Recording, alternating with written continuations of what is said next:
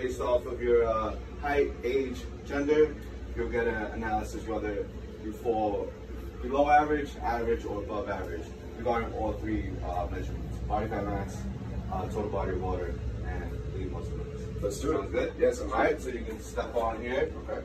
Right here. Yeah, it's gonna first take your uh, body weight, so you can go around there. You you get a nice reading There there. you get a nice Measurement is completed. uh, 204. All right, and since uh, we'll do a uh, guess test here. All right. All right, so there you can just enter your height. All right. And the accurate, the better, just so that it, it gives you the best reading here. Got it.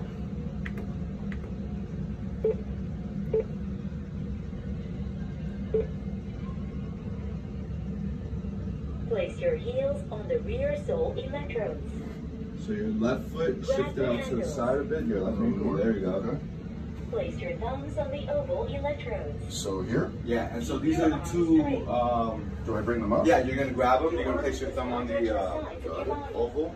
Okay. And so this is how that small electrical current is conducted throughout the whole body, as, this, as opposed to just your lower InBody Cool.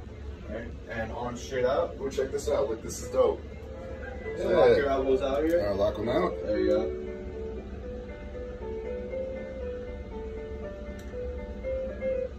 Test is completed. There you go. So after this, right, we're gonna get a nice printout here. where you'll get a really in-depth look at how that lean mass is broken up within his torso, legs, arms. And That's pretty cool. Yeah. All right, I want to see this. Let's go. There you go. All right. So you want to show your Yeah, absolutely, absolutely. Okay, so we're at we're at seven point three percent body fat, two hundred and four pounds, and this is kind of the breakdown. Here we go.